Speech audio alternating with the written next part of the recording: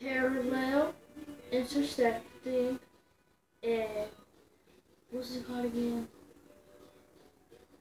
Perpendicular. Perpendicular. Perpendicular. What does perpendicular look like? This. And intersecting looks like what? Intersecting. Okay. And parallel? Parallel. And what was the other one? Perpendicular. What do they look like? Okay, tell your brother come here. Okay. Hurry up, Rashawn.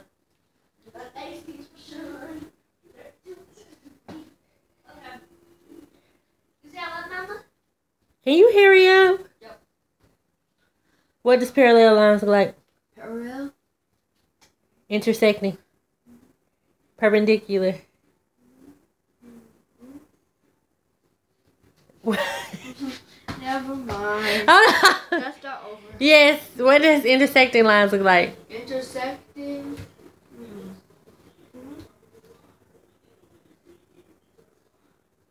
Perpendicular. That's parallel. Go back and come back again, okay? Thanks. Okay, done here. Okay. Excuse all them clothes. That's okay. Go look at it and come back. No, move, move. Will you It's move? one part. I want. I'm making a salad. I had a salad kit that came with the romaine lettuce. I chopped it up and cleaned it first. It was dirty, but it was fresh. And then I had a salad kit, which is all the little accessories on the inside of the salad. And it also came with this, which is some tortilla, tortilla strips and some dressing. Let me go ahead and get the salad kit out. So and show y'all exactly what that is. So, salad kit, where is it? This is what I just used. Southwest chopped kits. Southwest.